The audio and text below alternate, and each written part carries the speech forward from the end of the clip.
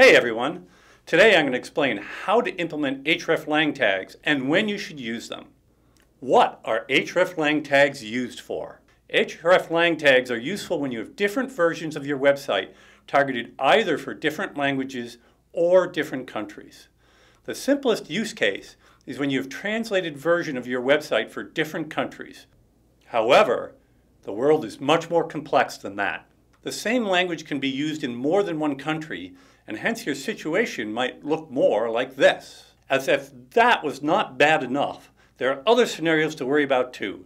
For example, this quickly gets very complex. As you can imagine, it is also very complex for Google too. Wouldn't it be cool if there was a tag that you could put on your pages to make sure Google uses your sites the way you want them to? Fear not, there is, and it's called the hreflang tag. Now, Let's discuss how to implement hreflang tags. Step 1. Start by identifying which versions of your site you want to map to which countries. Second, assemble that in a spreadsheet.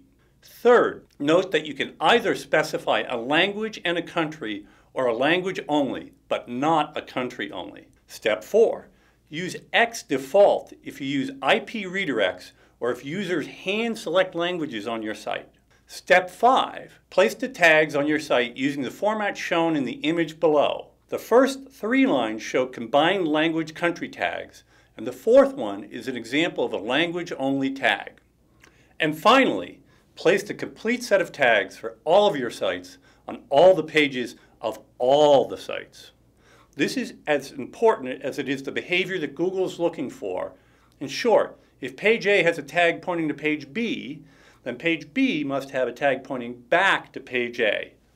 But wait, there's more. You should use hreflang tags on all the pages of your site that you want indexed, but shouldn't put them on other pages you don't want indexed.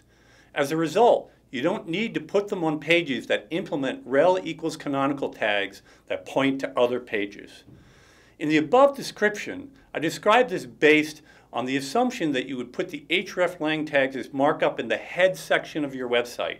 But there are other options. One, you could put it in the head section of your page as a link attribute. That's what I described before. Or two, have your web server communicate these in the page's HTTP protocol header.